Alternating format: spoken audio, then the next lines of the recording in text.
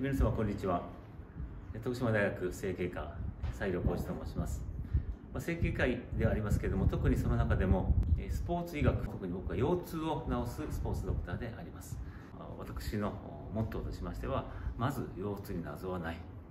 アスリートの腰痛の原因を完璧に見つけると。その後に内視鏡です。こんなに小さい傷でアスリートの腰痛を治す。そしてもう一つがコンディショニングリハビリテーション。え徳島大学病院は国立病院としてはもう最初となるピラティスですね。皆さんご存知のピラティスを導入しております。